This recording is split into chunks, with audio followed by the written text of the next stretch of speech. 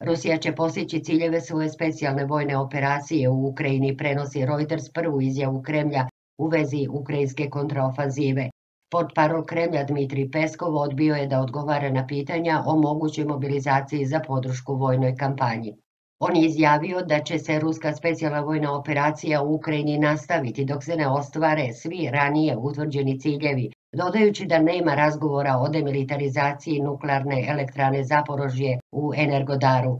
Peskov je napomenuo da je Putin u kontaktu sa ministrom odbrane i drugim vojnim liderima danonoćno i da je obavešten o svim akcijama ruske vojske, preneo je Interfax. Na Telegram kanalu oglasio se i Dmitri Medvedev, napominjući da je Zelenski rekao da neće ulaziti u dijalog sa onima koji postavljaju ultimatume. Aktuelni ultimatumi su dečija igra za zahteve u budućnosti i on ih zna potpuna kapitulacija kijevskog režima pod uslovima Rusije, napisao je Medvedev.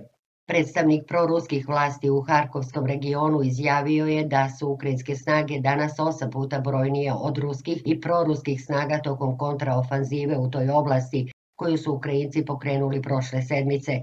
Govoreći na ruskom TV kanalu Rusija 24, Vitalij Gančev je rekao da su ukrajinske snage povratile naselja koja su bila pod ruskom kontrolom na severu Harkovske oblasti i da je oko 5000 civila evakuisano u Rusiju, preneo je Reuters. Nakon vikenda, kada je ukrajinska vojska zauzela položaj u oblasti Harkova, tvrdeći da je proterala ruske snage iz više od 20 gradova i sela, sada se javljaju izveštaji o dolaznim raketama i eksplozijama u centru Harkova, prenose agencije.